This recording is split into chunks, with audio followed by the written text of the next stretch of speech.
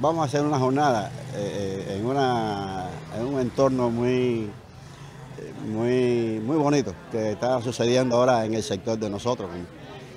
Eh, yo ahorita lo decía, la radio está en, su, en un momento muy bueno, es un festival maravilloso recientemente. Yo creo que eso es muy importante porque involucra a todos los realizadores, a todos los periodistas y, realmente fue un gran evento. El telecentro, eh, con un tercer lugar nacional, manteniendo la tradición que siempre hemos tenido, ¿no? Y tenemos un periódico Victoria muy cohesionado, un colectivo eh, muy joven, aguerrido, entusiasta.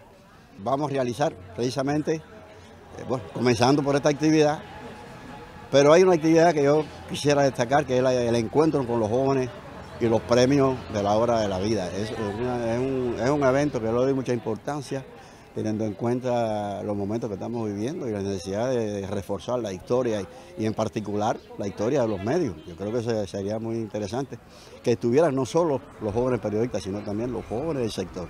Es una actividad que nosotros le damos mucha importancia. Tenemos además que estamos potenciando para reforzar las redacciones de los, medios el inicio del diplomado. Yo creo que eso es muy importante.